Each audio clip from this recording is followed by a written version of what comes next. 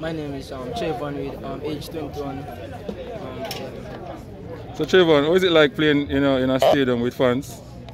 um, um, you know, honestly, um, it's been uh, very, I'm very excited.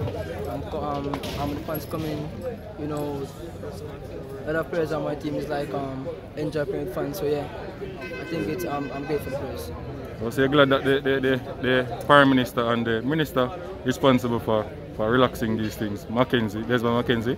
Yeah, I um, think uh, yeah, yeah, yeah, me, um, for me personally, I think um, it will help um, going forward. uh.